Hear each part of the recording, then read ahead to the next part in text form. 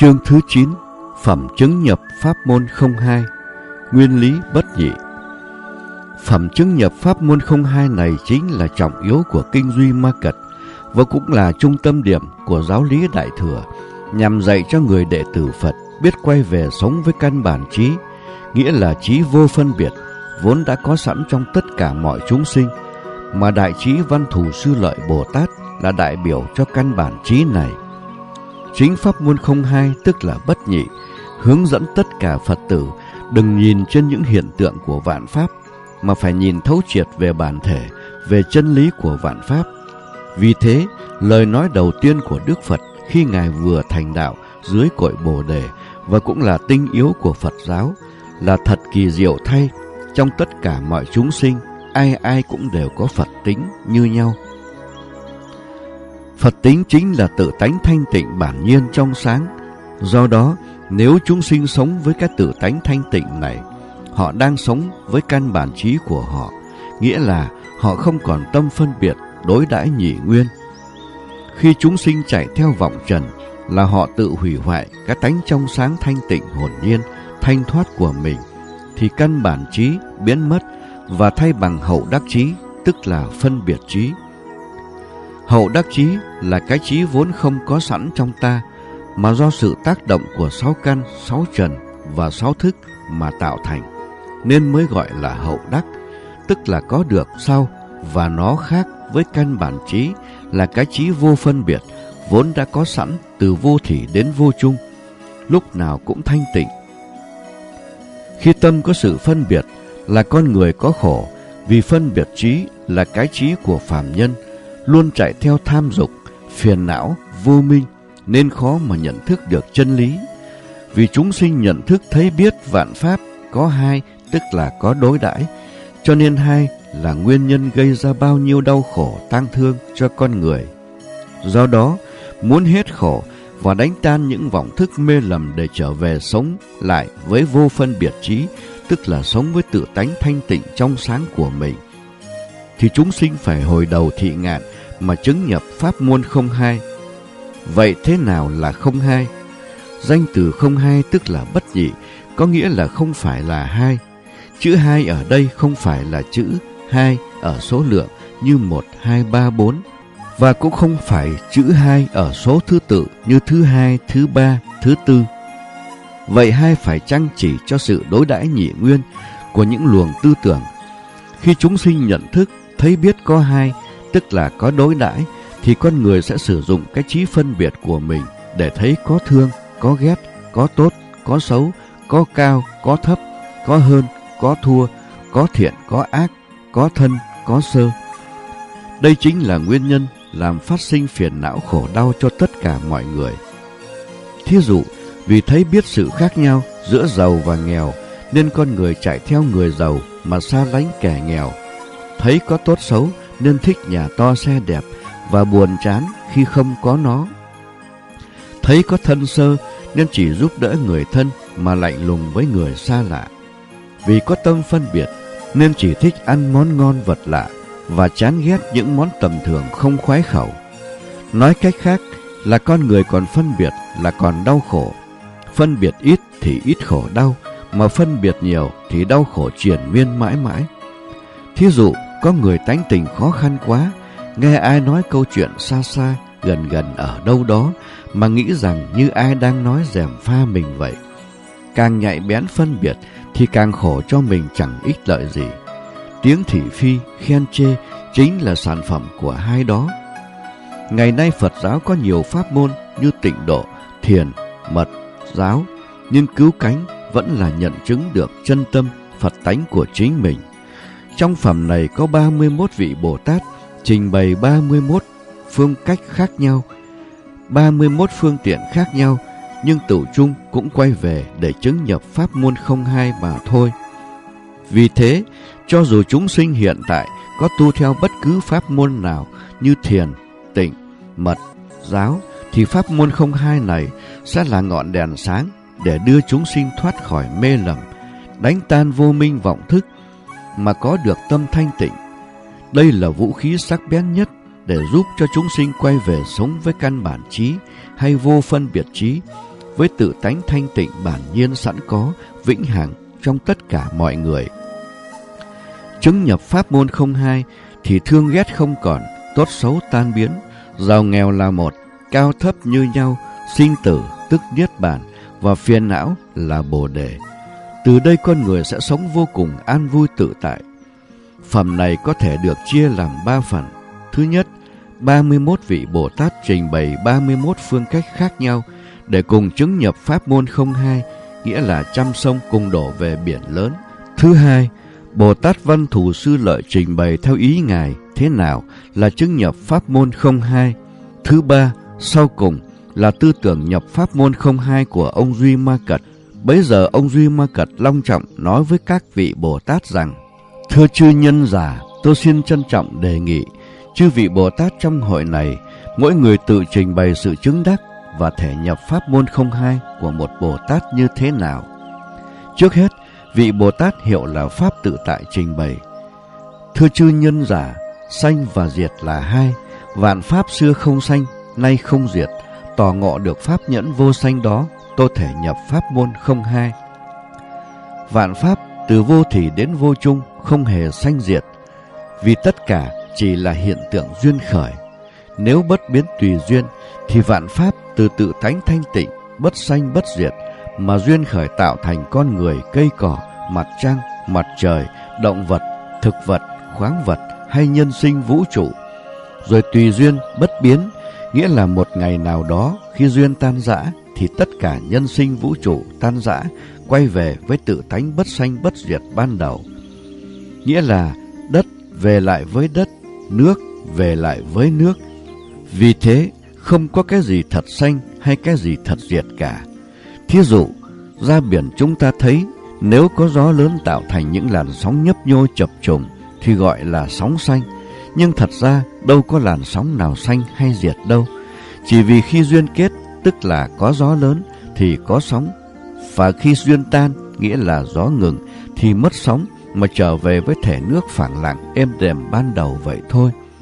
Vì tỏ ngộ chân lý không còn phân biệt có sanh có diệt nữa, mà Bồ Tát Pháp tự tại được Pháp nhẫn vô sanh và chứng nhập Pháp môn không hai, cũng như hoa khai kiến Phật ngộ vô sanh, nghĩa là mỗi chúng sinh là một đóa sen. Khi sen nở thì thấy được Phật, tức là không còn sinh tử. Bồ Tát Đức Thủ nói, ngã và ngã sở là hai. Vì có ngã cho nên có ngã sở. Tôi nhận thức rằng nếu không có ngã thì không có ngã sở. Do duyên cớ đó tôi thể nhập pháp môn không hai. Ngã là ta và ngã sở là những cái gì thuộc về ta. Con người vì còn chấp ngã, nghĩa là thấy mình là thật có nên từ đó mới tạo tác những sở hữu cho ta được sung sướng. Thí dụ cái nhà của ta, cái xe của ta, con cái của ta, cái chùa của ta. Vì thấy là của mình, của ta, cho nên con người phải lo bảo vệ, cưng chiều cái ta và những sở hữu của ta nhưng cuối cùng rồi cái ta cũng mất và những sở hữu của ta cũng phải bỏ lại cho thế gian. Người nào cái ngã càng cao thì càng khổ sở triền miên, bất tận vì họ có cấn cao ngã mạn, tự tôn tự đại nhìn con người trời đất thế gian như cỏ rác nên thường bị cô đơn, chịu cảnh lạnh lùng và không bao giờ an vui được. Càng chấp ngã và ngã sở nhiều thì con người càng đau khổ vì không một ai thoát ra khỏi sinh già bệnh chết hay vô thường vô ngã được. Bây giờ nếu xả bỏ được tâm cố chấp vì biết rằng ngã và ngã sở đều là không, là giả huyễn, không thật có, thì tâm sẽ an vui tự tại. Bởi vì nếu là không thật thì lòng không lo lắng, quyến luyến nhiều, cho nên được không vui và mất cũng không buồn. Theo Phật giáo, muốn viên thành Phật đạo thì phải diệt bản ngã, nghĩa là cái ngã còn thì con đường đạt đến vô thượng Bồ đề vẫn còn xa. Nói cách khác, cái ngã càng thấp thì sự an lạc, sự giải thoát càng cao.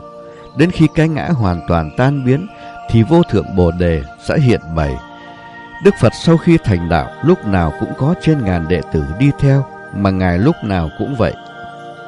Chính Ngài là một vị khất sĩ, tức là người đi xin ăn.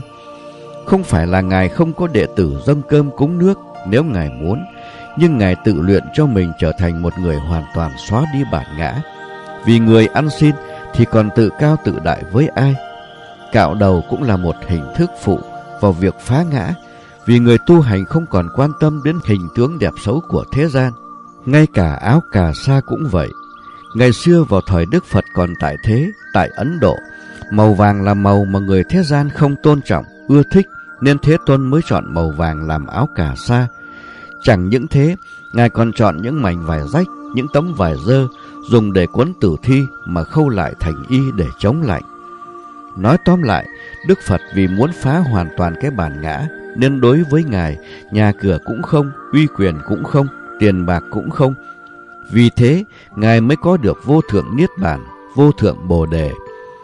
Vì có ngã mới sinh ngã sở, tức là có hai, nên Bồ Tát Đức Thủ mới quán tu vô ngã để trở về với căn bản trí của mình mà chứng nhập pháp môn không hai.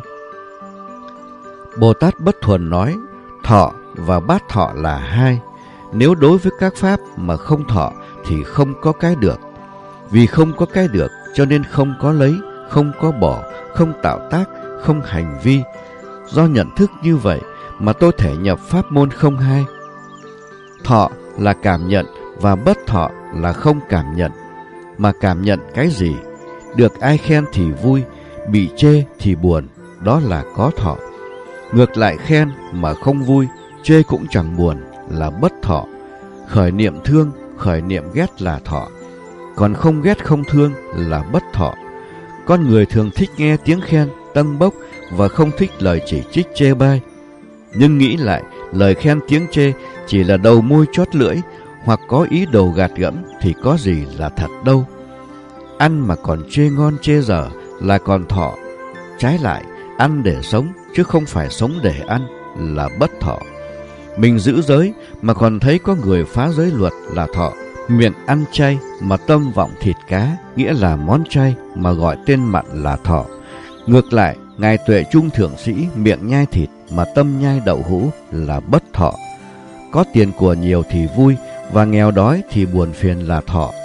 Còn có nhiều thêm một chút cũng vậy mà lỡ có mất cũng không buồn là bất thọ. Thấy cảnh trái ý nghịch lòng mà không quan tâm đến là bất thọ. Người khen kẻ chê cũng chẳng ăn nhầm gì là bất thọ. Làm việc vì lợi ích cho chúng sinh chứ không phải cho riêng mình là bất thọ. Vì thế, nếu không có cái thọ thì không có ý nghĩ lấy bỏ, không có ý nghĩ thương ghét, không có ý nghĩ khen chê. Cho nên Bồ Tát mới chứng nhập pháp môn không hai, nghĩa là quay về với căn bản trí vốn thanh tịnh, hay trở về với vô phân biệt trí, nên không có vấn đề thọ hay không thọ. Không có thọ hay không thọ, tức là không hai, thì thương ghét cũng chẳng còn, khen chê biến mất, không vui cũng chẳng buồn. Vì thế cuộc sống của con người sẽ vô cùng an vui tự tại. Bồ Tát Đức Đảnh nói, Cấu và tịnh là hai, thấy được thực tánh của cấu thì không có tướng tịnh, đồng thời tùy thuận với tướng diệt của vạn pháp. Do tỏ ngộ chân lý đó, tôi thể nhập pháp môn không hai. Cấu là chỉ cho những thứ phiền não, khách trần tác động, hoành hành, làm cho con người đau khổ, chứ không phải là dơ giấy, đất bùn, bụi bặm. Nếu nhìn về tướng, thì có phiền não, có khổ đau, nhưng nếu nhìn sâu vào thực tánh của vô minh phiền não là Phật tánh, mà Phật tánh là bất cấu, bất tịnh, bất sinh, bất diệt. Do đó thật tánh của cấu, của vô minh phiền não là trong sáng, là thanh tịnh, nghĩa là tự nó không có cấu, không có vô minh phiền não, không có cấu thì cần gì phải có tịnh. Vì thế mới nói thực tánh của cấu là không, nghĩa là trong thực tánh không có tướng cấu và cũng không có tướng tịnh. Thí dụ nhìn lên trời, thấy trời xanh trong sáng, nhưng vì con mắt của ta bị nhậm nên thấy có hoa đóm trên không. Do đó hoa đóm là không thật, thì hoa đóm đâu có ảnh hưởng gì đến trời xanh trong sáng đâu. Nói cách khác, tịnh là vì có cấu, nay tánh của cấu vốn trong sáng, thanh tịnh, thì tịnh còn dùng vào đâu được mà nói cấu với tịnh. Không cấu, không tịnh, thì không còn đối đãi, không có nhị nguyên, tức là không hai vậy. Bồ Tát Thiện Tú nói, động tâm và niệm tưởng là hai, nếu không động tâm thì không có niệm tưởng, không có niệm tưởng thì không có phân biệt. Tôi thông suốt được chân lý ấy mà thể nhập pháp môn không hai. Khi ra phố thấy có người ăn xin bên lìa đường thật tội nghiệp, khi mắt thấy một hình ảnh, một cảnh tượng đáng thương hay ưu ái, làm cho tâm bị dao động thì gọi là động tâm. Sau khi về nhà, chúng ta nhớ lại hình ảnh của người ăn xin đáng thương kia, thì cái nhớ lại đó gọi là niệm tưởng. Vì thế, niệm tưởng chỉ có khi nào có động tâm, nghĩa là nếu không thấy người ăn xin thì không bao giờ có kỷ niệm để nhớ lại. Do đó, khi niệm tưởng khởi dậy thì tâm bắt đầu phân biệt thiện ác, tốt xấu, nghèo giàu, tức là có hai. Muốn thể nhập pháp môn không hai thì Bồ Tát Thiện Tú phải bỏ tâm phân biệt, mà muốn không còn phân biệt thì đừng tưởng nhớ, và sau cùng muốn dứt hẳn cái tưởng nhớ thì đừng có động tâm. Tóm lại, nếu muốn quay về sống với căn bản trí, vô phân biệt trí, thì đừng cho tâm của mình bị dao động trước bất cứ hoàn cảnh nào. Tâm như như bất động là tâm của Bồ Tát, là tâm thanh tịnh và chính là chân tâm Phật tánh vậy. Ngày xưa, khi vua Lưu Ly xua quân tiêu diệt cung thành Ca Tỳ La Vệ, giết chết trên mấy trăm ngàn người dòng họ Thích Ca, trước cảnh đau thương tang tóc mà Đức Phật vẫn điềm nhiên, vì Ngài nhìn cái nhân bất thiện của những người thân thích, trong khi chúng sinh thì cứ nhìn cái quả nên thấy cảnh tan ra nát thịt mà đau lòng xót dạ. Bồ Tát Thiện Nhãn nói, tướng nhất và tướng vô là hai. Nếu biết rõ tướng nhất tức là tướng vô, bấy giờ thể nhập tánh bình đẳng. Do quá trình nhận thức như vậy, tôi thể nhập pháp môn không hai. Có cái một là do từ nơi không có cái gì hết, nghĩa là ban đầu không có cái gì, cho nên cái đầu tiên thì gọi là cái một. Thí dụ trong một căn phòng trống không, nếu bây giờ chúng ta đặt một bình hoa, thì cái bình hoa này là cái một. Chúng ta gọi bình hoa là cái một, tức là tướng nhất. Bởi vì trong phòng trước đây không có bình hoa, cho nên cái một là do cái không, tức là tướng vô mà có. Tướng nhất, tức là tướng vô nghĩa, là chính cái này là do cái đối đãi của cái không mà gọi cái này là có. Cho nên nếu không có cái không thì không bao giờ có cái một. Tóm lại, tất cả vạn pháp đều là do đối đãi cả, nghĩa là nếu chúng ta gọi cái này là một là do có cái không hay nói ngược lại, có cái không là vì do cái một. Do đó, cái một cũng chẳng thật một và cái không cũng chẳng thật không. Vì nhận thức vạn pháp duyên sanh tương quan với nhau, nghĩa là cái này tương quan với cái kia, hay cái một tức là cái không, thì thể nhập tánh bình đẳng, không còn đối đãi phân biệt, và sau cùng chứng nhập pháp môn không hai. Bồ Tát Diệu Tý nói, tâm Bồ Tát và tâm Thanh Văn là hai, quán tướng của tâm rỗng không như huyền hóa, cho nên tôi còn không thấy tâm Bồ Tát, tâm Thanh Văn. Do triệt tiêu tánh chấp, tôi thể nhập pháp môn không hai. Tâm Bồ Tát là người làm những điều lành, việc thiện lợi ích cho chúng sinh, còn tâm Thanh Văn là người thấy đời đầy ô nhiễm nên xa lánh thế gian để tìm nơi u tịch tu hành để thể chứng được sự an lạc của Niết Bàn cho riêng mình. Nhưng thật ra, hai cái tâm này không hề khác nhau, cùng một bản thể. Vì con người còn chấp trước, còn phân biệt, nên mới thấy có sự khác biệt, chứ thật ra tâm không sai khác. Thí dụ, nếu có tâm phân biệt, thì chúng ta thấy có người Tàu, người Tây hay người Mỹ, nhưng thật ra tất cả đều là con người, cùng chung giọt nước mắt mặn hay máu cùng đỏ như nhau, còn phân biệt là còn kỳ thị, còn đau khổ và còn tranh chấp đưa tới chiến tranh giết hại lẫn nhau. Khi hết phân biệt thì có tâm bình đẳng và chấm dứt phiền não khổ đau. Bồ Tát Phất Sa nói, thiện và bất thiện là hai, không khởi ý niệm thiện và bất thiện. Nhận thức thấu suốt ngần mé vô tướng của các pháp, do vậy tôi thể nhập pháp môn không hai. Trên thế gian, thiện và bất thiện rất khó phân biệt. Cùng một hành động mà có người cho là thiện, trong khi người khác cho là bất thiện. Thí dụ ở Hoa Kỳ, các bậc cha mẹ nếu muốn cho con cái nên người, học hành có tương lai, thì cũng có lúc của trách la dày. Hành động này hiện tại thì có vẻ như bất thiện, nhưng khi con nên người thì việc la mắng con cái là việc tốt. Một thí dụ khác là việc cứu tế xã hội. Ở Hoa Kỳ hàng năm có rất nhiều người được chính phủ cho tiền welfare. Đây dĩ nhiên là việc thiện, nhưng những người lãnh tiền này càng ngày càng lười biếng, lấy welfare làm căn bản cho cuộc sống mà không chịu học hành tiến thân, gây thâm thủng cho ngân quỹ quốc gia và phát sinh ra những tệ đoan cho xã hội. Cho nên việc tốt, việc thiện đã bị con người lợi dụng mà biến thành bất thiện. Vì vậy, khi con người không còn tâm phân biệt, luôn giữ tâm thanh tịnh, thì sẽ không còn bị thiện ác chi phối, vì mọi việc làm đều là lợi ích cho tất cả chúng sinh. Một khi đã sống với thể tánh thanh tịnh của mình, thì những danh từ đối đãi thiện hay bất thiện chỉ là giả huyễn trống rỗng mà thôi.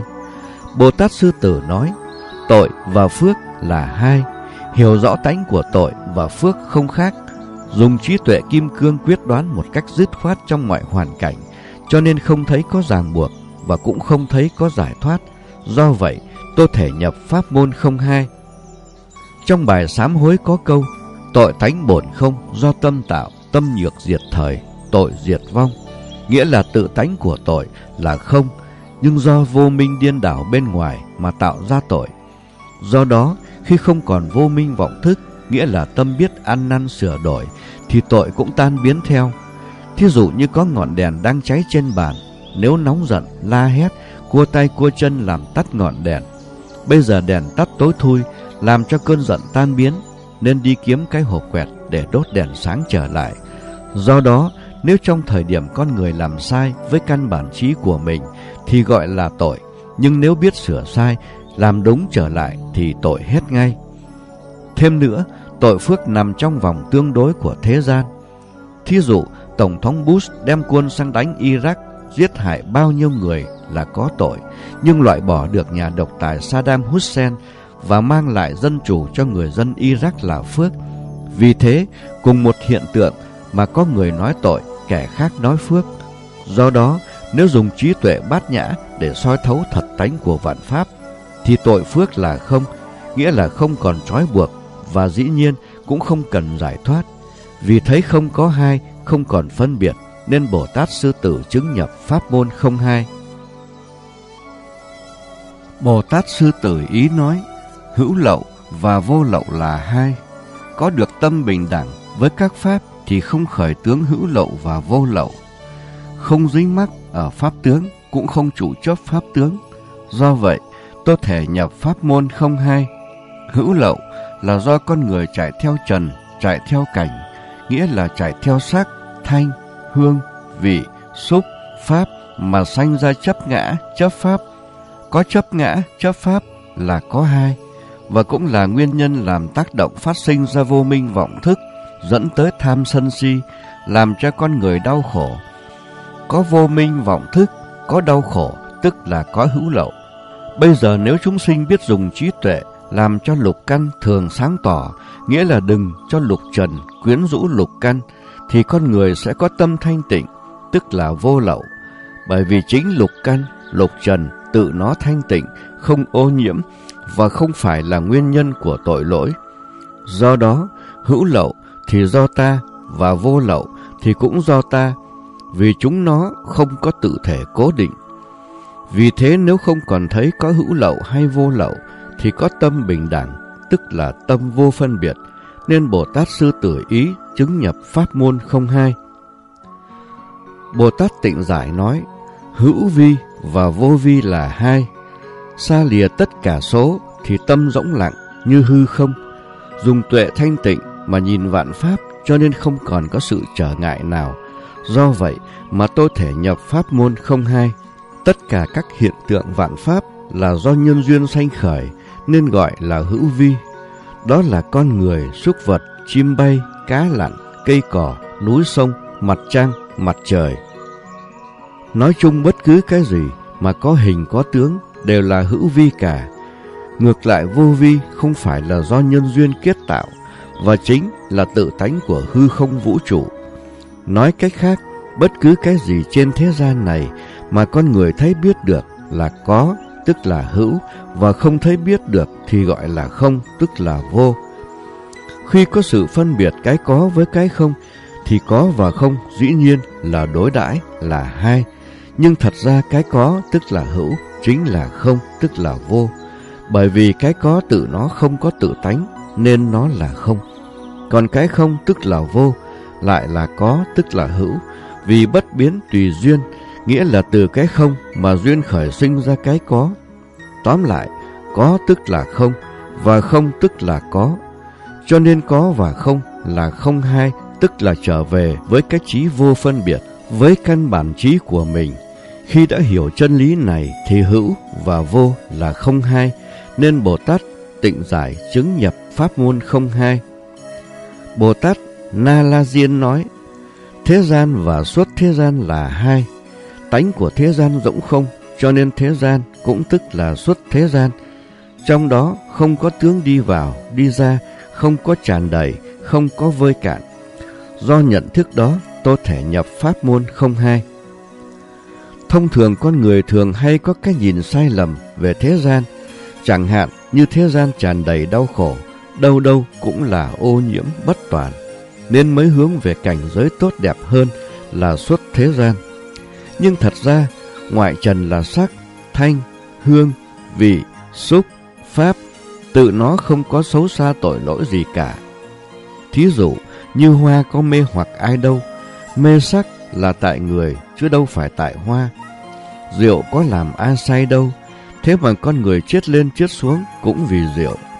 Ngay cả chất độc hại là á phiện. Các bác sĩ và bệnh viện khắp nơi trên thế giới dùng á phiện để trị đau, và nó chính là chất thuốc tê hiệu nghiệm nhất. Ngược lại, nếu con người say mê nó thì táng ra bại sản, nhà tan cửa nát. Còn nội căn là mắt, tai, mũi, lưỡi, thân và ý thì cũng chẳng có tội lỗi xấu xa gì bởi vì tự nó là thanh tịnh, không ô nhiễm. Thí dụ, con mắt thì không ô nhiễm, nhưng khi mắt thấy nhà sang xe đẹp thì tâm liền phân biệt ý niệm tham muốn làm cho con người dẫn thân vào chỗ khổ. Do đó, con người vạn vật thế gian thì tự tánh không có xấu xa tội lỗi gì cả, mà tất cả những ô nhiễm tội lỗi xấu xa đều phát xuất từ vọng niệm sai lầm. Vì thế, khi tự tánh thế gian không có gì ô nhiễm, thì thế gian và suốt thế gian có khác gì nhau. Con người vì bị vô minh che lấp nên thân khẩu ý không được thanh tịnh, mới thấy thế gian là xấu xa tội lỗi. Bây giờ quay về xé tan màng vô minh hắc ám mà sống với cái tự tánh thanh tịnh, bản nhiên, thì ở đâu cũng là cực lạc, và bất cứ lúc nào cũng có niết bàn an lạc.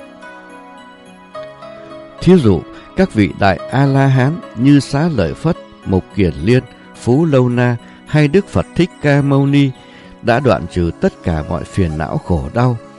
Có được niết bàn, nghĩa là họ sống trong cảnh giới suốt thế gian, mà hàng ngày họ vẫn đi, đứng, nằm, ngồi trong thế gian ta bà tội lỗi xấu xa này.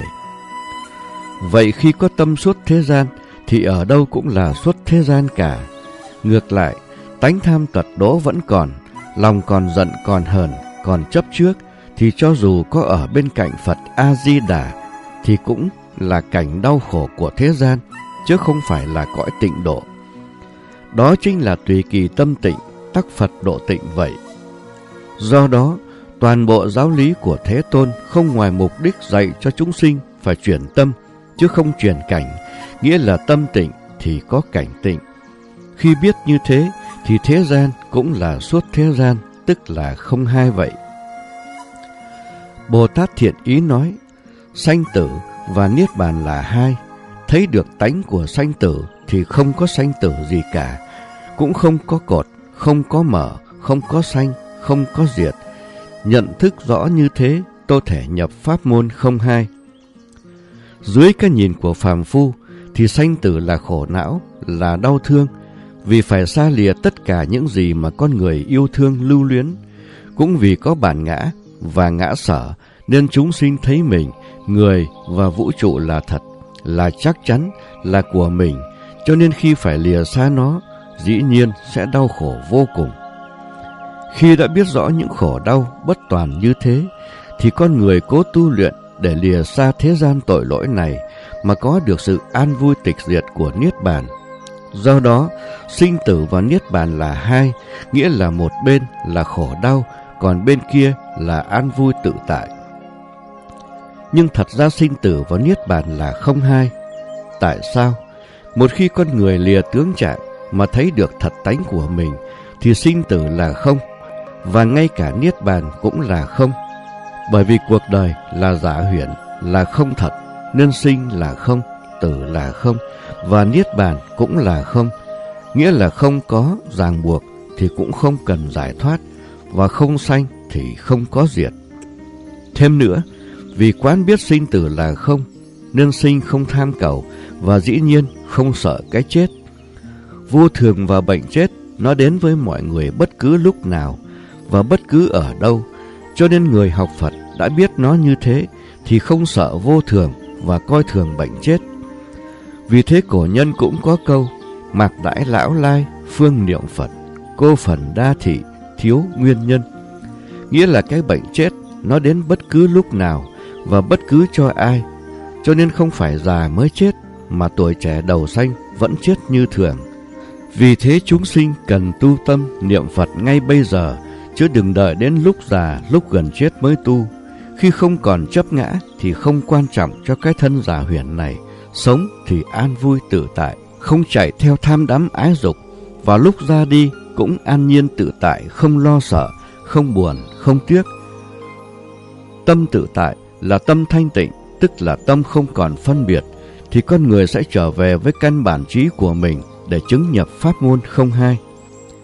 Bồ Tát Thiện Kiến nói, tận và bất tận là hai, vạn pháp hoặc rốt giáo tận hoặc rốt giáo bất tận đều là tướng vô tận. Tướng vô tận tức là không, không thì không có tướng tận hay vô tận, tỏ ngộ chân lý ấy tôi thể nhập pháp môn không hai. Nhìn thế gian vạn pháp thì thấy có ít, có nhiều, cái đếm được, biết được, có giới hạn thì gọi là tận như hiện nay, số người trên thế giới là 7 tỷ, trong khu phố có 500 ngàn căn nhà, trái đất có 4 đại lục và 5 biển. Còn những vật thể không thể đếm được thì gọi là bất tận hay vô tận. Thí dụ, nhìn lên không trung có ai đếm được có bao nhiêu vì sao đâu. Mặc dù trái đất có 5 biển, nhưng có ai đo được năm biển chứa bao nhiêu nước đâu. Tuy đếm được hay không thì vạn pháp đều cùng chung bản thể đó là không. Nói cách khác là vạn pháp tuy có ít có nhiều, có to có lớn, hình tướng thay đổi, số lượng thay đổi, nhưng tự thể vẫn như nhau, không to không lớn, không ít không nhiều, mà bao trùm khắp cả. Khi không còn thấy có sự khác biệt về số lượng mà chỉ còn một bản thể chân không, thì tất cả sẽ không có hai, tức là bất nhị vậy. Bồ Tát Phổ Thủ nói, ngã và vô ngã là hai. Ngã hãy còn không có, vô ngã càng không thể có. Thấy được thật tướng của ngã thì không còn khởi điểm hai. Do vậy, tôi thể nhập pháp môn không hai. Sống trong vô minh nên con người tin thân mình là thật, nên trong ta chắc chắn có một cái ta. Và vì muốn bảo vệ cho cái ta này mà tạo ra biết bao nhiêu tội nghiệp. Nhưng thân là do ngũ uẩn duyên khởi tạo thành, nên thân không có tự tánh, là vô ngã tức là không. Con người vì chấp ngã nên chạy theo sinh tử khổ đau nên chấp ngã là sai. Nhưng nếu con người bỏ chấp ngã mà quay về chấp vô ngã, tức là chấp không, thì cũng không đúng với trí tuệ bát nhã ba la mật, vì vẫn còn kẹt trong cái chấp, cho dù đó là chấp có hay chấp không. Cái ngã vốn không có, thì cái vô ngã làm sao có thật. Nếu thấy được thật tánh của vạn pháp là bất sinh bất diệt, bất cấu, bất tịnh, bất tăng, bất giảm, nghĩa là thật tánh của ngã là không có ngã, nên không còn chấp có ngã hay vô ngã, nghĩa là không còn chấp có hay chấp không, tức là không còn có cái hai. Thấu hiểu như vậy, nên Bồ Tát Phổ Thủ chứng nhập pháp môn không hai vậy. Bồ Tát Điển Thiên nói, minh và vô minh là hai, thật tánh của vô minh là minh. Minh cũng không chấp thủ, ly tất cả số, trụ tâm trong bình đẳng, không có ý niệm hai. Do vậy, tôi thể nhập pháp môn không hai. Vô minh là sự mê mờ không sáng suốt của tâm thức, ví như màng mây đen phủ lên tâm trí của con người từ bao nhiêu đời bao nhiêu kiếp, và nó chính là động lực chính làm cho con người có cái nhìn sai lạc về bản chất thật của nhân sinh vũ trụ. Con người có lý luận sai lầm là khi tu học Phật thì chúng sinh cố diệt vô minh và mong cầu sẽ có được cái trí tuệ sáng suốt tức là minh. Lý luận này là dựa theo tục đế của văn tự, ngôn ngữ, của sự đối đãi loài người. Nhưng trong thật tánh của vô minh là minh thì lúc nào cũng có sẵn trong chúng ta. Khi mê thì thấy có vô minh phiền não, còn tỉnh thức thì vô minh biến mất, phiền não tiêu trừ. Vì thế chúng sinh không cần phải đi tìm minh ở đâu xa, mà chỉ cần sống trong tỉnh thức, tâm luôn giữ chánh niệm để có tâm thanh tịnh thì sẽ không bao giờ có vô minh phiền não. Ngược lại, nếu sống trong xô bồ xô bột, chạy theo tham sân si thì vô minh khởi dậy, xa hầm sập hố vậy thôi. Thật tánh lúc nào cũng thanh tịnh, bất sanh bất diệt thì làm gì có vô minh. Hiểu như thế thì vô minh và minh là không hai, tức là chứng nhập pháp môn không hai.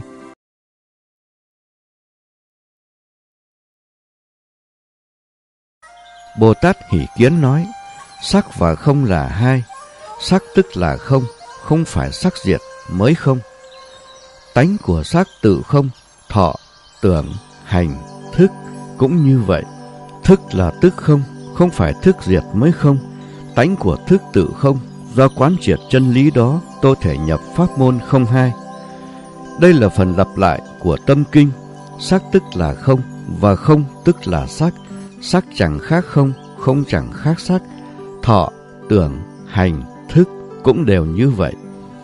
Tất cả vạn pháp trên thế gian này, kể cả cái thân tứ đại của chúng ta là sắc, đều là do nhân duyên hòa hợp tạo thành, nên chúng không có chủ thể, tự tánh. Vì thế, sắc là vô ngã tức là không. Vì là vô ngã nên sắc là vô thường, nghĩa là sắc là sinh diệt. Nay có mai không, nên đừng chấp vào nó. Nhưng tự tánh của sắc là không, nghĩa là không cần phải hủy hoại sắc mới có không, mà tự chúng đã là không rồi. Ý của đoạn kinh này là mặc dầu thế gian vũ trụ này vẫn còn, vẫn có trước mắt, nhưng con người đừng chấp cái có của nó, đừng tham mê luyến ái, thì mặc dù là có nhưng nó vẫn như không. Đó chính là thấy mà như không thấy vậy. Ngày xưa lúc Đức Phật còn tại thế, thì thế gian vũ trụ vẫn còn sờ sờ ở đó, thế mà dưới mắt của Ngài thì tất cả là không. Không ở đây là không phải đem đập đổ, nghiền nát tất cả, mà không chính là không chấp thủ bám víu, tham đắm, si mê nó. Những vị hiền nhân trên thế giới như Đức Phật, Đức Khổng Tử, Chúa Giêsu đều là những người nghèo. Tất cả đều xem thường vinh hoa phú quý, xa lánh tham đắm thế tục. Nghĩa là thấy có mà như không, tức là sắc tức thì không, nên nhân loại mới kính phục. Còn những kẻ tham đắm như vua kiệt chủ thì thế gian nguyền rủa đến muôn đời. Thí dụ, cái bình hoa rất quý, rất đẹp và đắt tiền trưng trong phòng khách. Nếu chấp thủ mà xem bình hoa là có thì chúng ta phải cưng chiều, lo lắng, bảo vệ, chăm sóc cho cái bình hoa hơn cả bản thân của mình.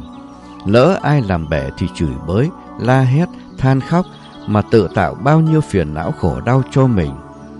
Bây giờ thấy bình hoa là không, vì cho dù chúng ta có giữ gìn cách mấy, thì một ngày nào đó nó cũng hư hại, tan biến, thì cuộc sống sẽ vô cùng nhẹ nhàng, thanh thoát. Không buộc thì cần gì phải cởi trói. Có càng nhiều thì lo càng to, khổ càng lớn. Công danh phú quý cũng như đeo ách trên vai.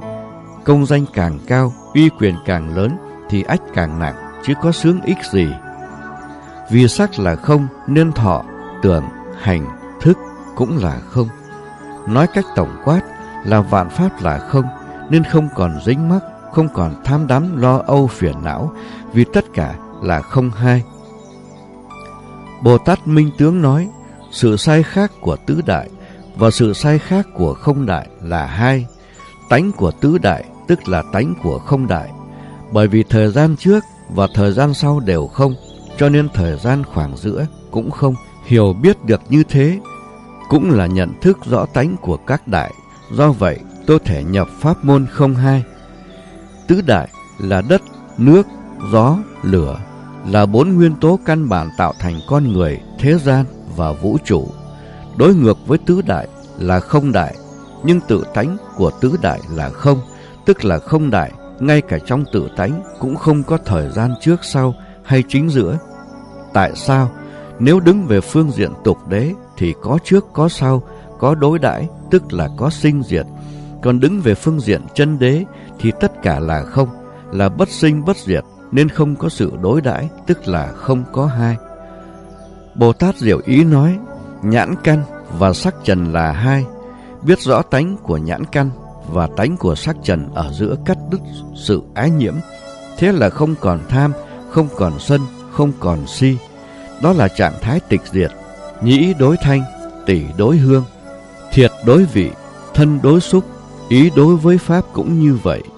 Biết rõ tánh của ý căn và tánh của pháp trần, đoạn trừ sự ái nhiễm tham sân si, đạt đến trạng thái tịch diệt, an trụ trong tỉnh giác như vậy, tôi thể nhập pháp môn không hai. Đoạn kinh này cũng chính là chủ yếu của kinh Lăng Nghiêm, dạy cho chúng sinh kiểm soát, làm chủ sáu căn khi tiếp xúc với sáu trần, để phát sinh ra ý niệm phân biệt của sáu thức. Nên biết rằng sáu căn của con người tự nó thanh tịnh, không ô nhiễm, nhưng khi tiếp xúc với sáu trần, liền bị sức quyến rũ của sáu trần mà phát sinh ra ý niệm tham sân si để dẫn dắt con người vào vòng xa đọa. Thí dụ bình thường thì tự thể của con mắt đâu có tội lỗi xấu xa gì, nhưng khi mắt thấy gái đẹp, nhà sang, xe tốt, tiền nhiều thì tâm phát sinh ý niệm tham đắm mà suối con người làm bất cứ điều gì để đạt được những thứ này. Năm căn còn lại cũng thế, tai nghe lời dịu ngọt thì mê, nghe ai chửi thì giận, nghe lời thị phi thì thích, mũi người đồ ăn thơm thì tham ăn, người không thơm thì đánh đổ. Lưỡi nếm mùi vị thơm ngon thì tham đắm, còn nếm mùi cay đắng thì buồn phiền.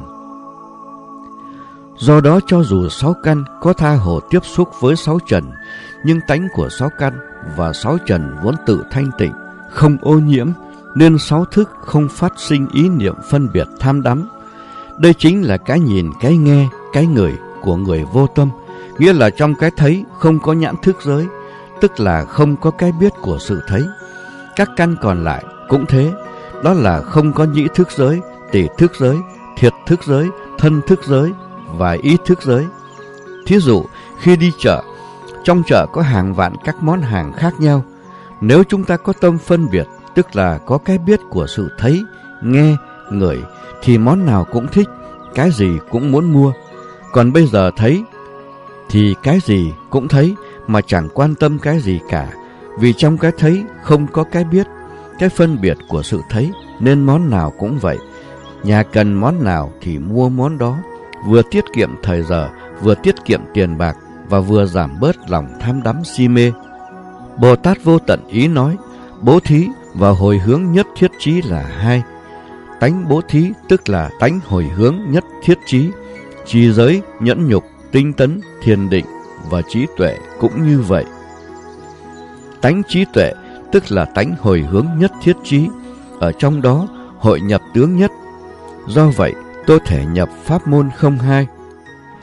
Khi bố thí làm phước, làm việc thiện, việc lành, chúng ta thường hay hồi tưởng những phước đức này để thành tựu nhất thiết trí, nghĩa là có trí tuệ bồ đề hay viên thành Phật đạo, cho nên bố thí và hồi hướng là hai. Nhưng tánh bố thí cũng là tánh hồi hướng nhất thiết trí, nghĩa là bố thí bất trụ tướng, hay còn gọi là bố thí vô tướng của Kinh Kim Cang, tức là bố thí mà không chấp mắc việc làm tốt, hành động giúp người của mình, nghĩa là thi ân bất cầu báo, thì phước đức công đức kia mới lan tỏa vô cùng vô tận. Thêm nữa, bố thí là để bớt tánh tham, nhưng trong tự tánh thanh tịnh làm gì có tánh tham. Do đó, khi bố thí làm việc thiện, chúng ta không cần phải hồi hướng, vì tánh bố thí tức là tánh hồi hướng. Nghĩa là khi làm việc thiện, tự nó đã có ảnh hưởng lan rộng tốt cho chúng ta rồi. Thí dụ chúng ta nguyện cúng dường, xây một cảnh chùa cho bá tánh thập phương, có nơi tu học Phật Pháp. Việc làm tốt này đã làm cho tâm của chúng ta hân hoan khoan khoái. Cái hân hoan khoan khoái này chính là giúp cho chúng ta quay về sống gần với chân tánh của mình. Thì chính mình ngay bây giờ đã có lợi lạc rồi, đâu cần gì phải hồi hướng cho mai sau. Nói cách khác, hàng ngày con người vì bản năng ích kỷ, không chịu bố thí giúp người, cho nên cuộc sống xa dần với chân tánh của mình. Mà càng xa chân tánh thì càng gần với vô minh phiền não. Vì thế hành động bố thí là đưa con người trở về với tự tánh thanh tịnh bản nhiên của mình, thì tự mình đã có công đức rồi. Vì thế, bố thí và hồi hướng nhất thiết trí là không hai. Trì giới, nhẫn nhục, tinh tấn, thiền định và trí tuệ cũng thế. Khi con người bị vô minh phiền não che lấp nên phải chịu sinh tử luân hồi, cho nên trì giới, tinh tấn, nhẫn nhục, thiền định và trí tuệ là những phương tiện giúp cho chúng sinh phá tan màng vô minh hắc ám để trở về với tự tánh thanh tịnh bản nhiên của mình. Nói cách khác, con người còn phiền não khổ đau là vì họ sống ngược với chân tánh, tức là tánh chân thật vốn có của mình. Do đó, khi trì giới nhẫn nhục là mình đến gần hơn với chân tánh, với tâm thanh tịnh của chính mình, nên tánh của trì giới tức là tánh hồi hướng rồi vậy. Thí dụ, như người giữ giới phẩm hạnh thì chính họ đã có khinh an giải thoát, tự tại, nên mặc dù không hồi hướng gì, nhưng thực chất tự nó đã có hồi hướng rồi. Chính Đức Phật độ vô số chúng sinh mà không hề thấy có chúng sinh mình độ. Đức Phật làm tất cả việc làm mà không thấy có công đức mình làm. Và Đức Phật chứng vô thượng Bồ Đề, vô thượng Niết Bàn mà không bao giờ nói mình chứng đắc gì cả. Đó chính là tu vô tu tu, hành vô hành hạnh và chứng vô chứng chứng. Khi Đức Phật đạt tới chỗ thân khẩu ý thanh tịnh, thì tự nó không có vô minh, không có phiền não khổ đau, không có sinh tử luân hồi, thì gọi là chứng vô thượng bồ đề, vô thượng niết bàn, chứ thật ra không có chứng đắc gì hết. Bởi vì hết vô minh phiền não là con người trở về với chân tánh của mình, là sống với tự tánh thanh tịnh bản nhiên của mình vậy thôi. Đây chính là bản la diện mục đã có sẵn, chứ đâu phải khi thành Phật mới có. Bồ Tát thâm tuệ nói, không, vô tướng, vô tác là hai, không tức là vô tướng, vô tướng tức là vô tác. Hiểu rõ không tức là vô tướng, vô tướng là vô tác, thì tâm, ý và thức bấy giờ công dụng trở thành một. Bấy giờ một giải thoát môn tức là ba giải thoát môn. Quán triệt chân lý đó tôi thể nhập pháp môn không hai.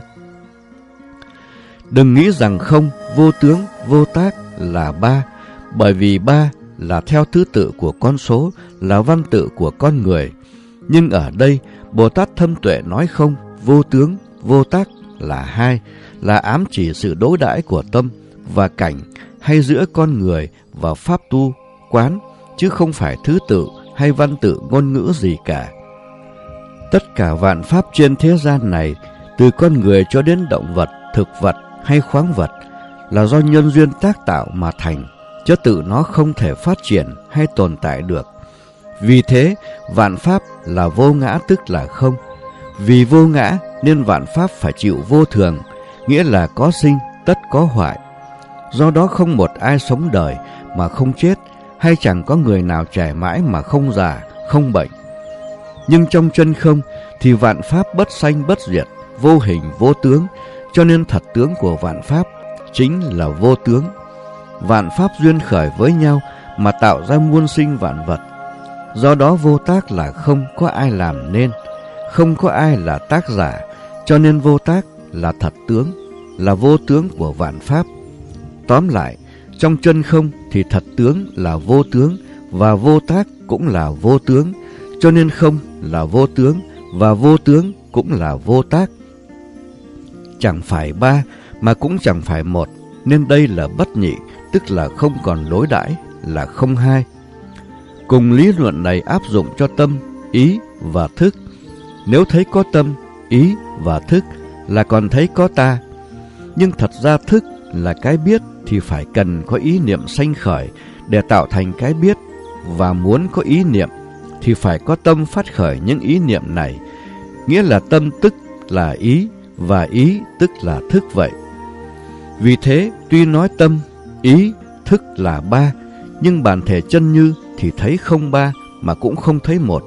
Chẳng phải ba, chẳng phải là một, thì đây chính là bất nhị, tức là không hai.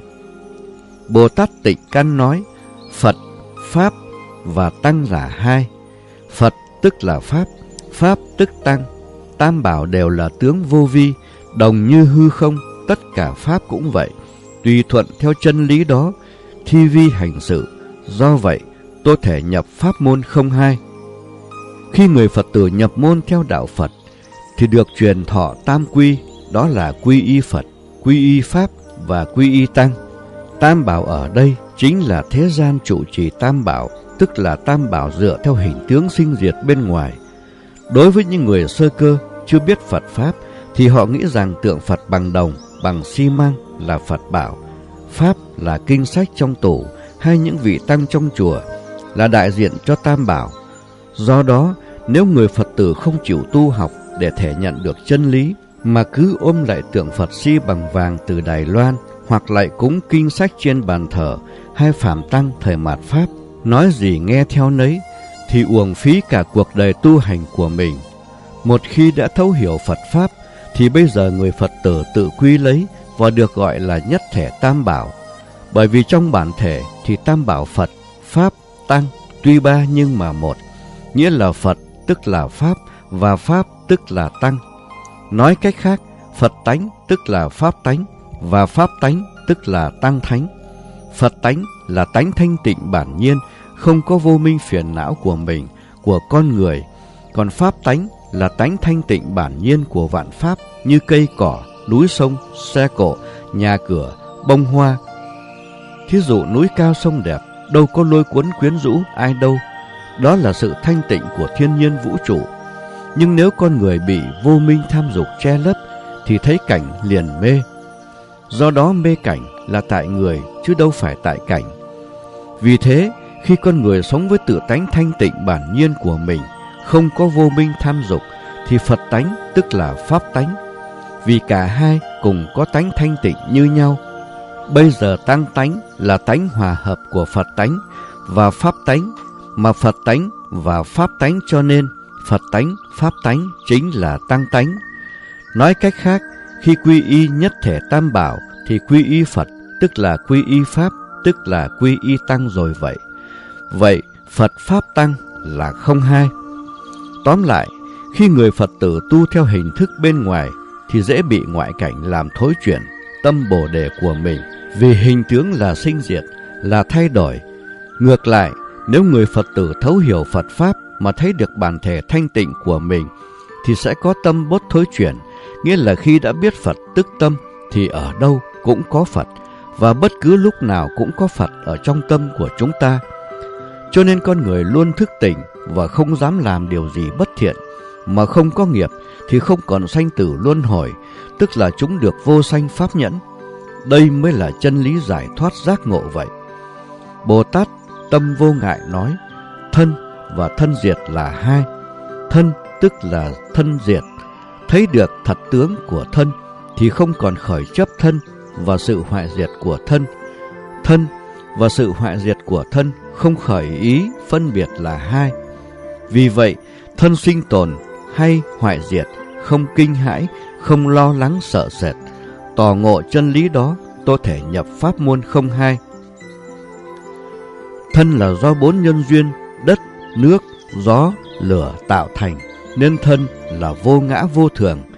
Vì vô thường nên một ngày nào đó thân sẽ bị hoại và sáu căn sẽ không còn sắc bén như khi còn khỏe mạnh, thì gọi là thân diệt. Hiện tượng này là cho tất cả chúng sinh chứ không sót một ai. Vì thế, bệnh, già, chết là chuyện thông thường, không có gì lo sợ.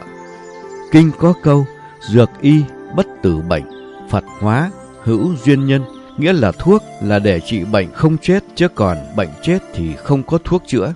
Cũng như Phật chỉ hóa độ chúng sinh là những người có duyên, còn những người vô duyên thì Phật cũng không hóa độ được. Khi biết được thật tướng của thân hay của vạn pháp là không tướng, con người sẽ không còn lo lắng về sinh lão, bệnh tử nữa. Vì trong tướng không thì vạn pháp không sanh, không diệt, không tăng, không giảm, thì làm gì phải lo có thân hay sợ thân diệt. Vì chấp ngã cho nên con người sống mà luôn luôn sợ bệnh, sợ chết, nhưng có lo, có sợ mà con người vẫn bị bệnh, vẫn chết như thường. Cho nên người biết quán vô thường thì họ coi bệnh hay chết như trò chơi, chả có gì quan tâm kinh hãi.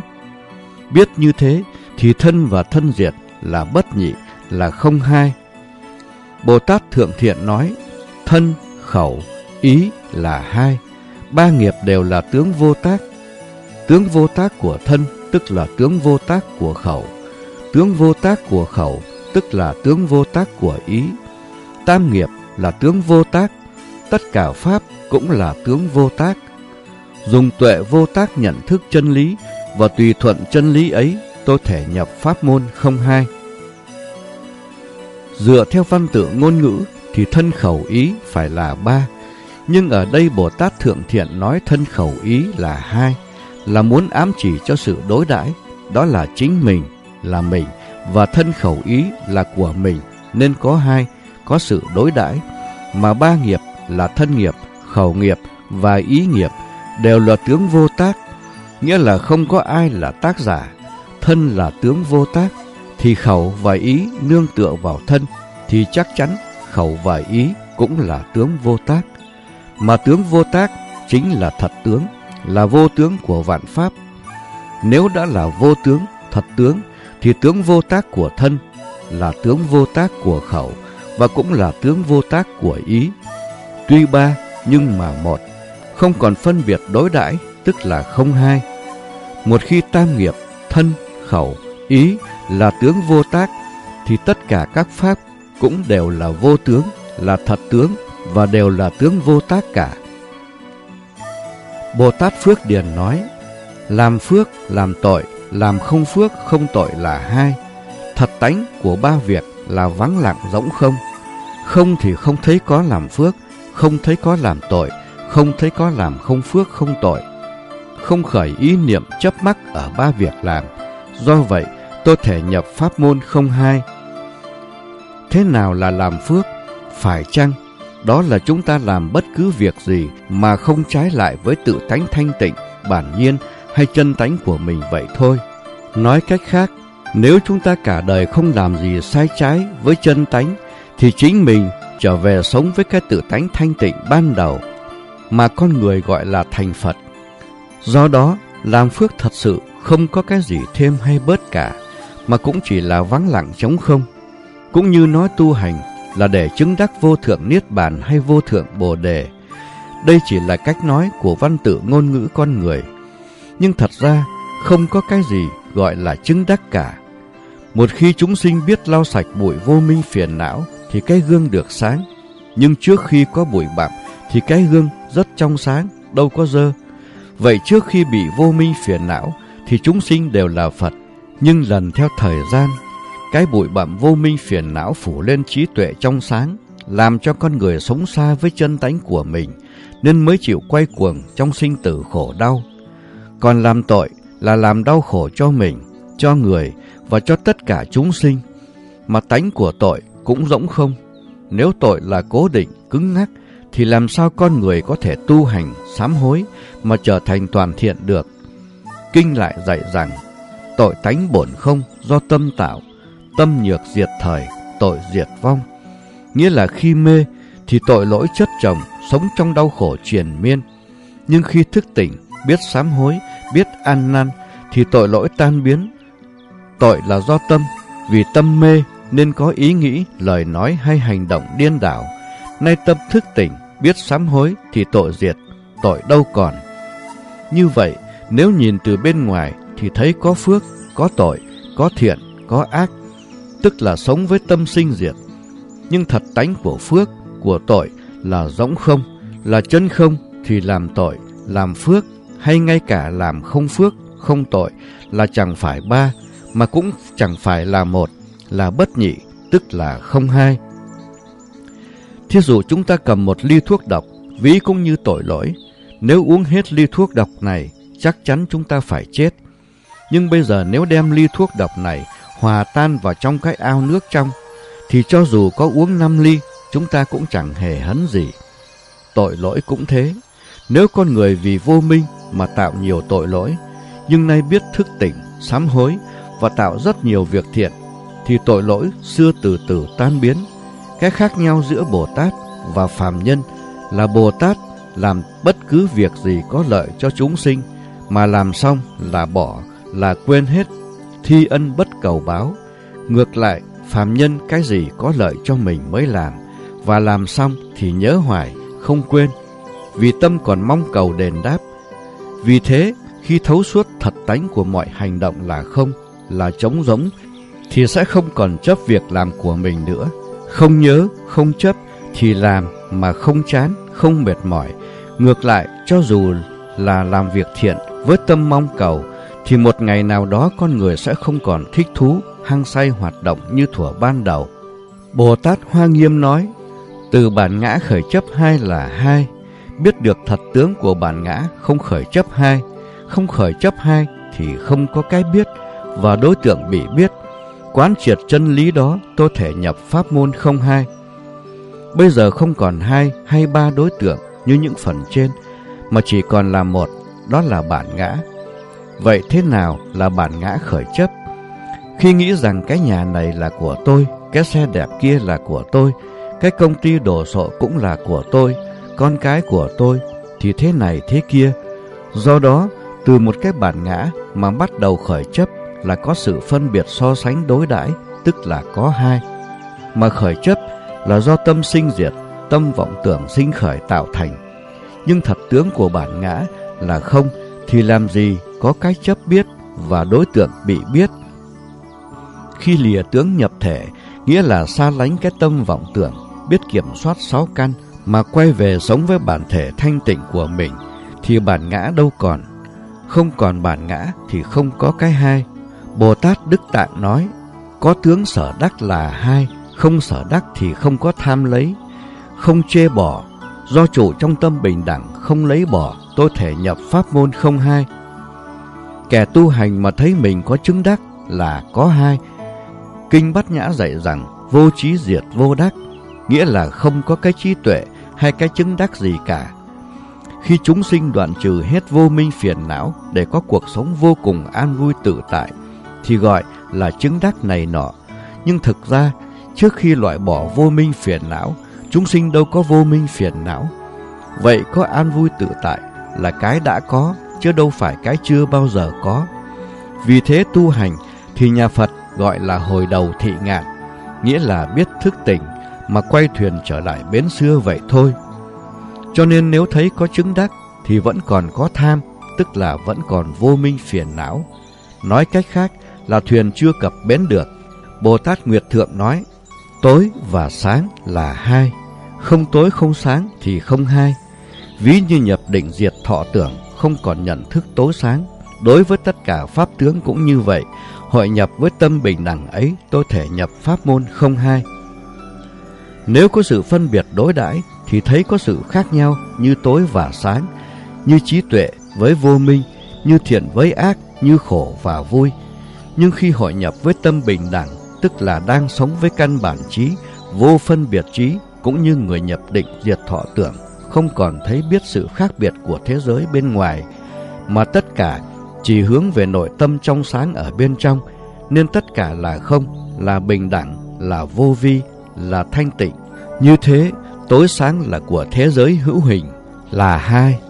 Còn pháp tướng của tất cả vạn pháp là vô hình, là của thế giới vô vi, thì làm gì còn có phân biệt, có đối đãi nên không có hai, tức là bất nhị. Bồ Tát Bảo Ấn Thủ nói, ham mộ niết bàn, nhàm chán thế gian là hai. Không ham mộ niết bàn, không nhàm chán thế gian thì không hai. Vì sao? Vì rằng ai có bị trói buộc mới mong cầu mở. Người không bị buộc trói còn hy vọng mở cái gì? Không bị buộc, không cần mở, cũng không nhàm chán, không có ham mộ. Thâm ngộ chân lý đó, tôi thể nhập pháp môn không hai. Đây là diễn giải một chân lý siêu việt mà người tu Phật nên thấu suốt. Nói theo lẽ thông thường, thì bất cứ ai tu Phật cũng đều nhàm chán cảnh thế gian, dẫy đầy tội lỗi xấu xa, mà tìm về cảnh giới an vui tịch diệt của Niết Bàn. Nếu nghĩ như thế, thì nhàm chán thế gian và ham thích Niết Bàn chắc chắn là hai. Bây giờ tự hỏi tại sao lại phải nhàm chán thế gian? Phải chăng những người đó đang bị thế gian hoành hành, gánh chịu trăm điều phiền não khổ đau? Nhưng tại sao lại cũng cái thế gian này mà có rất nhiều người gọi nó là tội lỗi xấu xa, lại cũng có nhiều người sống an vui tự tại, chẳng hạn như Đức Phật, các vị A-la-hán hay và biết bao nhiêu người khác nữa. Vậy đâu là chân lý? Hãy quay về nhìn lại có cái gì là tội lỗi xấu xa trong thế gian này chăng? Cây cỏ, núi sông, nhà cửa, xe cộ, hãng xưởng, thức ăn, thức uống, đâu có cái gì tự nó là xấu xa tội lỗi đâu. Cái mà con người cho rằng xấu xa tội lỗi là do cái nhìn có vô minh phiền não, tham đắm của mình mà ra. Khi tâm chất đầy tham sân si ái dục, thì nhìn cái gì cũng mê, cũng thích, cũng muốn chiếm hữu. Và đây chính là những vần đục đeo trước con mắt của họ, khiến họ nhìn thế gian là bất toàn, khổ não.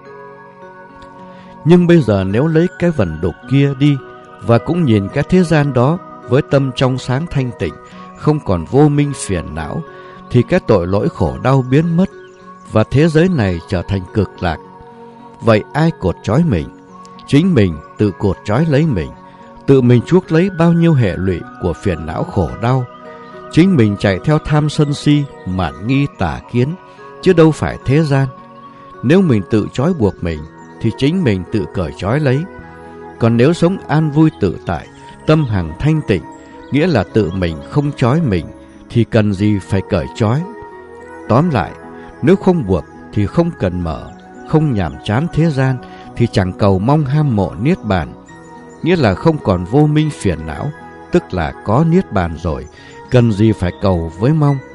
Chứng với đắc, cho nên thế gian niết bàn là không hai, tức là bất nhị. Bồ Tát Châu Đảnh nói, chánh đạo và tà đạo là hai. Trụ ở chánh đạo thì không phân biệt tà hay chánh. Do ly cái tướng hai, tôi thể nhập pháp môn không hai. Tuy đạo Phật là đạo của từ bi, nhưng không vì thế mà người nào cũng được Đức Phật độ. Từ khi Đức Phật Thích Ca thành đạo đến nay, đạo Phật chỉ độ cho những ai có duyên với Phật Pháp và không thể nào độ cho người vô duyên được. Vì thế, nếu theo học với chánh Pháp, sống với chánh Pháp, người đó là chánh đạo. Ngược lại, có người theo những tôn giáo khác thì gọi là ngoại đạo, và nếu là những tôn giáo cực đoan thì gọi là tà đạo. Nếu đứng về hình tướng thì thấy có chánh, có tà, có tốt, có xấu, vì chúng ta còn tâm phân biệt. Nhưng đứng về thể tánh thật tướng thì tất cả chúng sinh nào có khác gì nhau, cùng có thật tánh cho dù là người tà đạo. Do đó, nếu nhìn thấu suốt qua hình tướng để vào bản thể chân như, thì không thấy có tránh có tà, nghĩa là chẳng phải hai mà cũng chẳng phải là một, tức là bất nhị, là không hai. Mặc dù Phật giáo không những có trước những tôn giáo khác trên năm sáu trăm năm, mà còn có thể phát triển và duy trì mà không bao giờ dùng đến bạo lực và không hề bị hoen ố bởi những cuộc chiến tranh tôn giáo và thánh chiến. Ngày nay, có những tôn giáo rất cực đoan đã và đang tàn sát những tôn giáo khác. Họ có những niềm tin rất điên cuồng, phát sinh từ tính độc tôn đố kỵ, làm cho nhân loại phải sống trong khổ đau như thế giới hiện nay. Cho dù thế gian có xoay vần thế nào đi chăng nữa, Phật giáo luôn luôn khuyên người tu Phật, luôn chủ nơi chánh đạo, thì không còn phân biệt tránh hay tà. Nói cách khác, khi chủ nơi chánh đạo là chủ nơi thật tướng, thì vạn pháp là không. Không còn thấy tướng thì không có phân biệt đối đãi mà sống với căn bản trí hay vô phân biệt trí thì chẳng còn thấy tránh và cũng chẳng thấy tà, tức là bất nhị. Vì thế, thay vì ghét hay kỳ thị tà đạo, người trụ ở chánh đạo là người đang sống với tự tánh thanh tịnh bản nhiên của mình, luôn dùng tâm từ bi mà đối xử tốt với họ. Vì họ là những người đáng thương, là những chúng sinh đi lầm đường lạc lối, cũng vì bị vô minh che lấp. Nên nhớ, đây là giáo lý liễu nghĩa thượng thừa, để đưa người tu viên thành Phật quả. Còn giáo lý nhân thừa hay giáo lý hữu vi, giáo lý tục đế, thì người Phật tử có biểu tình, có đấu tranh, có chết chóc, có ta, có người, có tốt, có xấu, tức là có hai. Do đó bất nhị là thanh tịnh, là an vui tự tại, còn có hai là còn đau khổ chập chồng. Bồ Tát nhạo thật nói, thật và không thật là hai. Thật thấy hãy còn không thấy thật, huống hồ không phải thật. Vì sao? Vì cái thấy của nhục nhãn không thể thấy đúng chân lý, chỉ có tuệ nhãn mới thấy đúng chân lý. Tuệ nhãn không thấy gì hết, nhưng không có gì không thấy. Do tỏ ngộ được chân lý đó, tôi thể nhập pháp môn không hai. Trước hết, hãy tìm hiểu thế nào là thật thấy và thấy thật. Khi mở mắt hàng ngày, chúng ta thấy tất cả vạn pháp như con người, xe cộ, nhà cửa, vật dụng, máy bay, cây cỏ, núi sông, mặt trời, mặt trăng, thì tin chắc là thật thấy những hiện tượng này. Thí dụ nhìn chiếc xe thì biết chắc chắn rằng đó là chiếc xe, vì nó là chiếc xe chứ không phải là cái nhà. Vật thể là của thiên nhiên, nhưng con người đặt cho nó cái tên rồi tin chắc nó là cái tên mà họ đã đặt cho. Thí dụ, một người khi còn ở Việt Nam có tên là Sơn, nhưng khi qua định cư ở Mỹ liền đổi lại là thành Sam. Như thế thì tên nào là tên thật của anh ta? Chẳng có cách tên nào là tên thật cả. Nếu là tên thật thì không bao giờ có thể gọi được. Vì là vô hình vô tướng thì làm sao đặt tên được. Do đó hôm nay gọi là Sam, ngày mai nổi hứng gọi là Jimmy hay John cũng vậy thôi. Cái mà con người tin chắc là thật thấy thì thật ra chỉ là giả thấy mà thôi. Thí dụ như ra sau vườn, thấy một đóa hoa rất xinh đẹp, vừa mới nở. Do đó ai dám bảo thấy hoa là không thật thấy. Nhưng một tuần sau thì cũng nơi đó đóa hoa tan tả, biến mất. Thế thì cái thật thấy này chỉ là cái thấy của sự biến đổi sinh diệt của nhân sinh vũ trụ, chứ không có gì là thật thấy cả. Vì ngay trong thời điểm chúng ta thấy vật đó, thì chính nó đang tự hủy hoại rồi. Còn thấy thật thì như thế nào? Tất cả vạn pháp trên thế gian vũ trụ này là do duyên sanh mà thành, chứ không có vật gì tự nó có thể phát triển hay tồn tại được, nên tất cả vạn pháp đều là vô ngã, là sinh diệt tức là không. Khi thấy rằng thật tướng của vạn pháp là không tướng, tức là tướng không sanh không diệt, thì cái thấy này mới gọi là thấy thật. Cái thật tướng này là tướng vô, là không có hình tướng, thì mắt thường làm sao thấy được. Nhưng cũng chính cái tướng vô này mà do nhân duyên hòa hợp lại tạo thành tất cả. Do đó, muốn thấy thật cái tướng vô này thì phải dùng con mắt trí tuệ, tức là tuệ nhãn, để tư duy quán chiếu, mà nhận biết nó thì cái thấy biết này mới là thấy thật vậy. Khác với nhục nhãn là thấy biết những hiện tượng sinh diệt, tuệ nhãn có thể thấy biết không tướng, thật tướng của vạn pháp. Vì là không tướng, không hình, không sắc nên không thấy gì hết. Nhưng chính cái không tướng này là chân không bao trùm khắp vũ trụ, nên mặc dù không thấy, nhưng đây mới chính là thấy tất cả. Các vị Phật và Bồ Tát, các ngài đâu có mở mắt lớn như phạm nhân, mà họ thấy tất cả, thấy thấu suốt cả tam thiên đại thiên thế giới, cũng vì các ngài dùng tuệ nhãn và Phật nhãn. Còn chúng sinh thì lúc nào mắt cũng mở to, mà thấy biết lầm lẫn. Cái thấy là cái thấy bởi vô minh vọng thức, nên mặc dù chúng sinh có thấy thật nhưng không thật thấy. Nói tóm lại, mọi vật thể trên thế gian là giả tạm, là sinh diệt, là mong manh nên mất đi rất dễ dàng. Vì thế con người thật thấy hình tướng diện mạo của nó mà thật ra là không thấy thật. Chỉ khi nào con người thấy được chân không thật tướng của vạn pháp thì bây giờ mới gọi là thấy thật, thấy đúng chân lý, thấy không có phân biệt đối đãi là bất nhị, tức là không hai. Các Bồ Tát mỗi mỗi đều trình bày pháp môn sở ngộ và kết quả đều cùng đến một mục đích là thể nhập pháp môn không hai. Trên đây là 31 cái nhìn về sự đối đãi phân biệt, là hai của 31 vị Bồ Tát. Thật ra hiện tượng của thế gian là vô cùng vô tận, nhưng đại để 31 thí dụ trên giúp cho chúng sinh phản tỉnh hồi đầu để thấy rằng thấy có hai chính là nguyên nhân của tất cả vô minh phiền não khổ đau mà con người đã gánh chịu bao nhiêu đời, bao nhiêu kiếp. Thí dụ thấy có ta và những người khác không phải là ta là thấy có hai. Vì thấy có mình có người nên con người làm mọi cách để bảo vệ mình, ngay cả lợi mình mà hại người, họ cũng làm. Con người có thói quen tin tưởng vào những giác quan và ý thức tầm thường mà phân biệt mọi vật có hình tướng khác nhau như lớn nhỏ, đẹp xấu, thiện ác, trong ngoài, thật giả, tối sáng, mà tin chắc các thế giới hữu hình vô ngã, vô thường, sinh diệt này đều là bền chắc, là trường tồn bất biến, mà chạy theo cái tốt, cái đẹp, làm cho cuộc sống thiếu thăng bằng.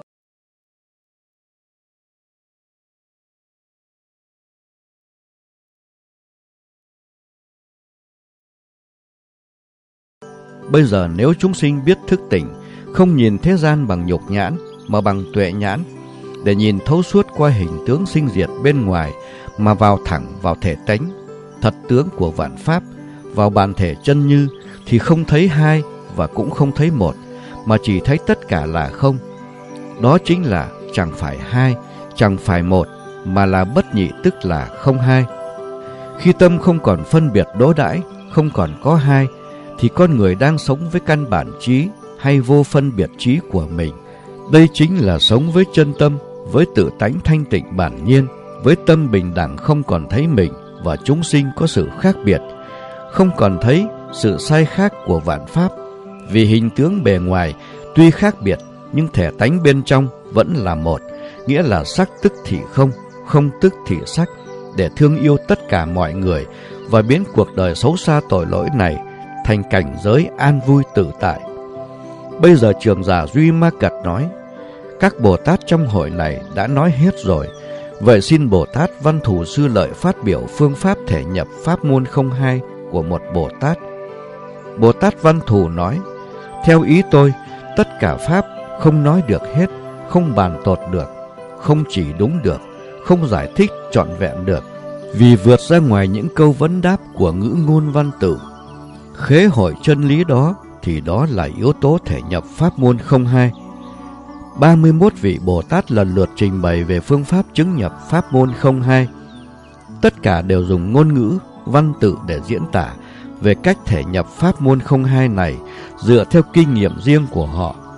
Đến lượt Bồ Tát Văn Thù là vị đại Bồ Tát có trí tuệ lớn nhất trong các hàng Bồ Tát thì nói rằng muốn thể nhập pháp môn không hai phải xa lìa tất cả vô ngôn, vô thuyết, vô thị, vô thức, lìa cả nơi vấn đáp. Nói cách khác, chính mình phải trải qua kinh nghiệm sống và phải tự chứng mới biết được rõ ràng cái thực thể bất sanh bất diệt tiềm ẩn trong tất cả mọi chúng sinh. Thí dụ, có người đang uống một tách trà nóng rất thơm ngon, thì chỉ có người đó là biết cái nóng và vị thơm ngon của trà như thế nào mà thôi. Cho nên cổ nhân mới có câu như nhân, ẩm thủy, lãnh noãn, tử chi là như vậy. Khi thưởng thức, cái hương vị trà nóng này phát sinh những cảm giác khoái lạc rung động trong tâm thức và không một ai, kể cả người này có thể diễn tả được cái cảm giác thật đó được. Vì thế, cái biết thật thì không thể diễn tả được, còn cái có thể diễn tả được thì chắc chắn không phải là cái biết thật. Đó là lý do tại sao 49 năm dòng thuyết pháp độ sinh mà chính Đức Phật nói rằng ta chưa hề nói một chữ là như vậy. Không riêng gì Đức Phật thể nhập pháp môn bất trị, ngay cả Đức Lão Tử cũng viết trong Đạo Đức Kinh như sau. Đạo khả đạo phi thường đạo, danh khả danh, phi thường danh. Nghĩa là đạo mà nói ra được thì không phải là đạo, và tên mà nói ra được thì không phải là tên.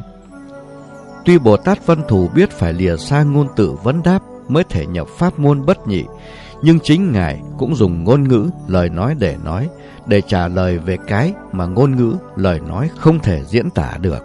Bấy giờ Bồ Tát Văn Thù hỏi ông Duy Ma Cật, Thưa cư sĩ, chư Bồ Tát đã trình bày xong, giờ đây xin nhân giả cho biết cao kiến của Ngài về phương pháp thể nhập pháp môn không hai của một Bồ Tát. Ông Duy Ma Cật lúc bấy giờ điểm nhiên an tọa, đại chúng cả hội trưởng như nín thở trông chờ. Ông Duy Ma Cật vẫn im lặng và im lặng. Tại sao lại phải im lặng? Vì cái mà ông thật biết thì không thể nói, không thể diễn tả được. Làm sao có thể diễn tả được thể tánh chân như? Làm sao có thể dùng ngôn ngữ hạn hẹp của thế giới hữu vi mà diễn tả được cái vô vi thanh tịnh vô cùng vô tận của thế giới vô vi? Vì chân lý vượt ra ngoài ngôn ngữ thì làm sao dùng ngôn ngữ, văn tự để diễn tả chân lý cho được. Vì thế, cổ nhân cũng có câu chi giả bất ngôn, nghĩa là người biết thì không nói vì nói không được. Ngược lại, ngôn giả bất chi, nghĩa là người nói nhiều là người không biết. Ở trên hội Linh Sơn, Khi ông Đại Phạm Thiên Vương đem hoa sen cúng Phật, Đức Thế Tôn bèn cầm cành hoa sen đưa lên thì toàn chúng hội đều ngơ ngác, yên lặng. Chỉ có tôn giả Đại Ca Diếp là chúm chím mỉm cười. Vì chỉ có tôn giả mới am hiểu được thâm ý của Đức Phật. Đó là Phật muốn chỉ cái tánh thấy, tánh nghe, tánh biết thường có trong tất cả mọi chúng sinh mà con người bỏ quên nó để chạy theo cái trí thức phân biệt sinh diệt giả tạm ở bên ngoài. Nhưng tự tánh là chân không, là vô hình tướng thì biết mà không nói, không diễn tả được nên tôn giả chỉ mỉm cười. Khi tổ Bồ Đề Đạt Ma vào Trung Hoa vào thời vua Lương Võ Đế, sau khi được diện kiến nhà vua và thăm hỏi chư Tăng Ni cùng Phật tử về phương cách tu học để được giải thoát giác ngộ, thì Ngài rất thất vọng vì vào chùa nào và vị tăng nào cũng đều đem kinh điển tụng niệm ra khoe với tổ. Quá thất vọng, tổ vào chùa Thiêu Lâm ngồi xoay mặt vào tường tham thiền nhập định suốt 9 năm.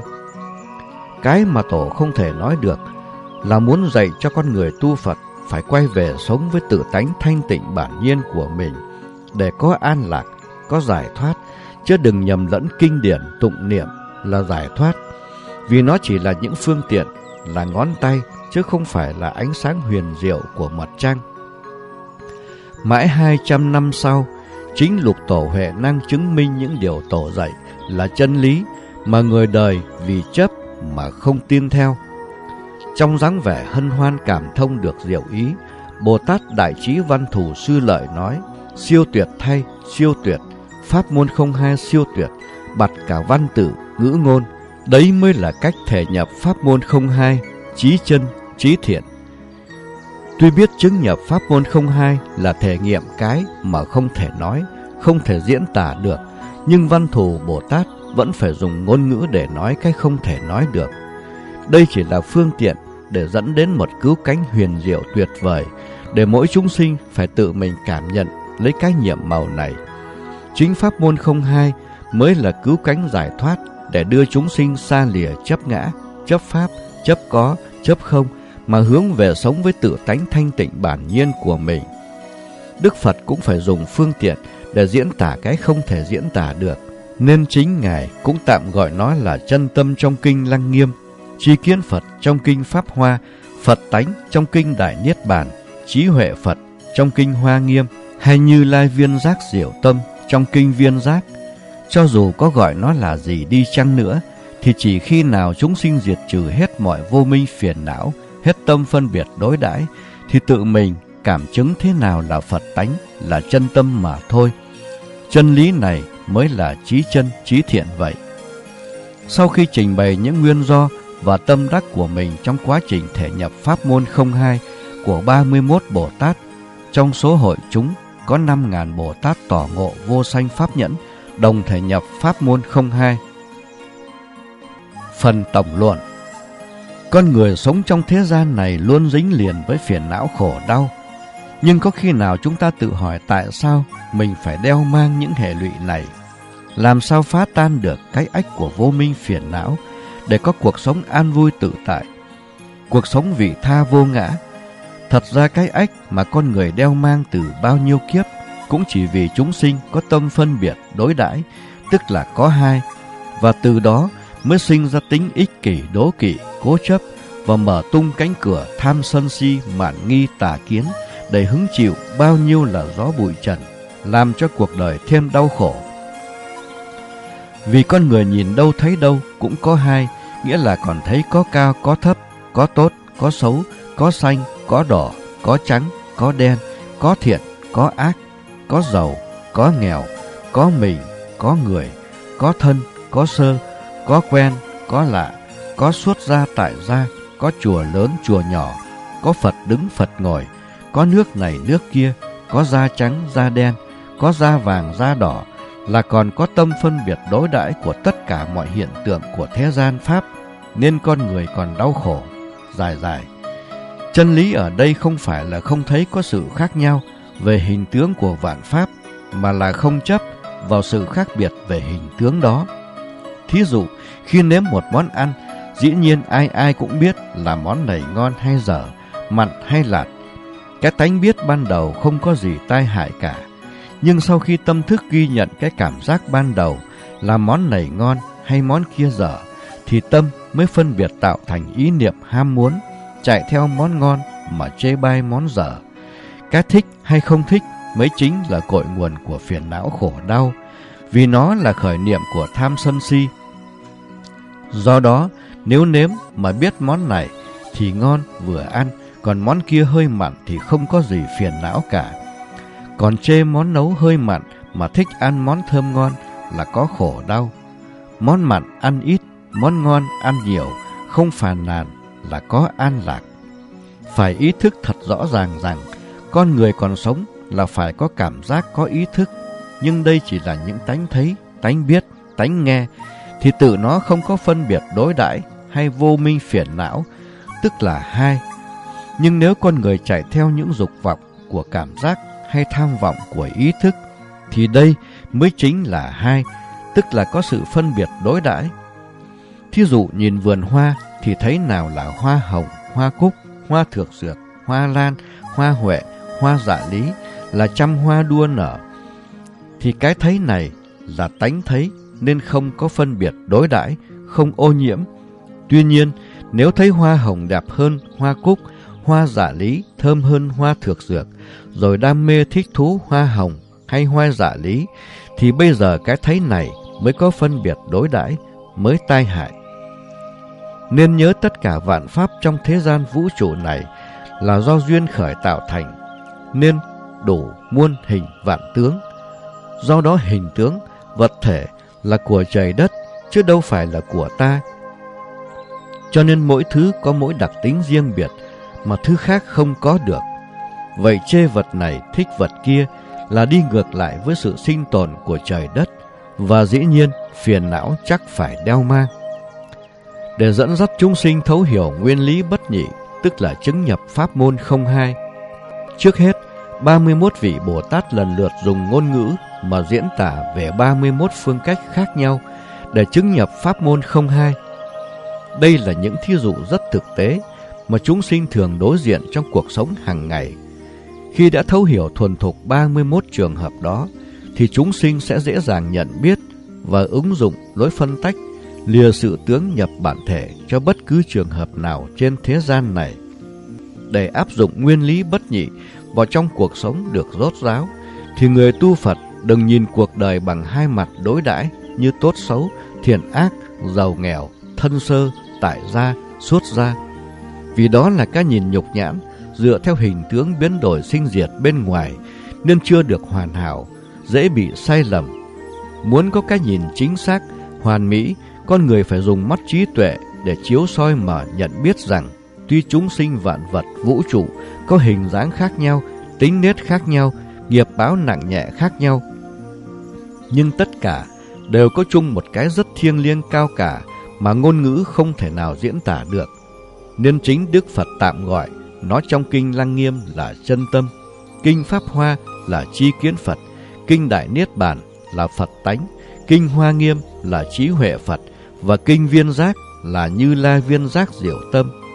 Đây chính là tự tánh thanh tịnh bản nhiên, tức là cái bản la diện mục, nghĩa là gương mặt thật, sẵn có muôn đời trong tất cả mọi chúng sinh.